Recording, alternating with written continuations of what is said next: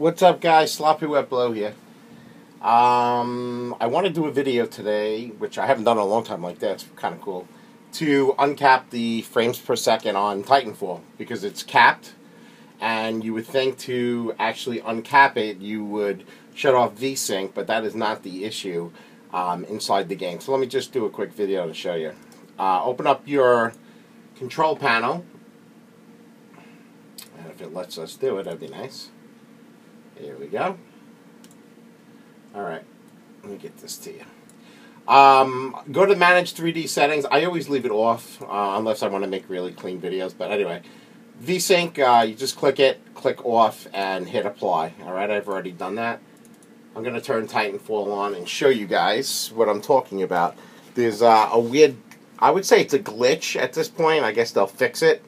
I'll know when they fix it. But I was having a problem too because it was capped at uh, 60 frames per second, which, um, you know, to show frames per second, it ends up becoming an issue. Uh, let's make sure you guys can see that up there. It looks good.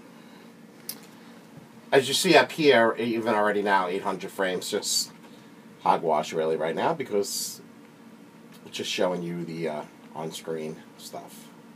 So anyway, let's get into this some sound too. Alright.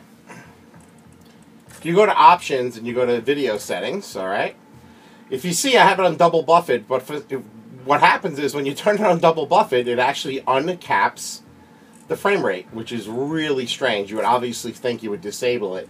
Now watch this. If I disable and hit apply, look, if you guys can see it, it's back down to 60. Alright, if I go to play the game, it will stay at 60 as long as my video card obviously is capable, which it can. As you see, I have everything on high.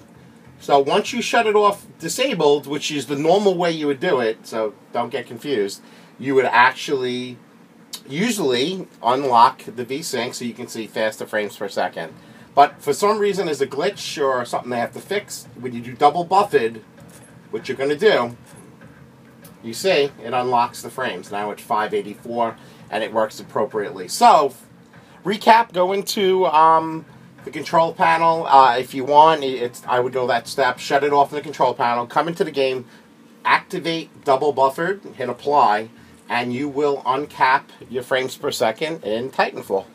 Alright guys, um, I will have this video up soon.